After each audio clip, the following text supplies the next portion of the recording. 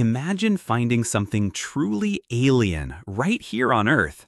In 2020, the El Alali meteorite, discovered in Somalia, wasn't just special because of its monster size, a whopping 16.5 tons, dwarfing most space rocks. It held an even bigger secret. Initially identified as an iron IAB complex, mostly meteoric iron, researchers quickly realized there was more than just metal and silicates. A tiny sliver, carefully removed and examined under a microscope, revealed the truly astounding discovery. Human eyes saw, for the first time ever, not one, but two entirely new minerals. These never before seen compounds were eventually named Elaliite and Elkinstantonite, a groundbreaking find proving that even massive space rocks can hold hidden treasures. This incredible discovery reminds us how much more there is to explore, even from objects that land on our planet.